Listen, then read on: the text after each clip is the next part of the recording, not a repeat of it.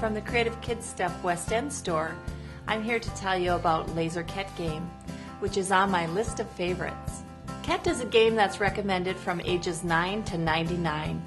It's a fun and easy game to learn. It's easy because all of the pieces move in the same direction.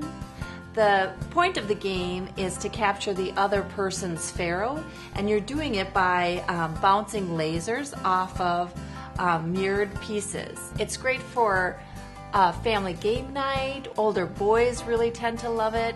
Um, it's a fun, easy game to take out. There's not too many pieces, and they really enjoy the strategy of it. You can find all my favorites. I'm Marianne, and everything you need to choose that just right gift at one of our stores or at creativekidstuff.com.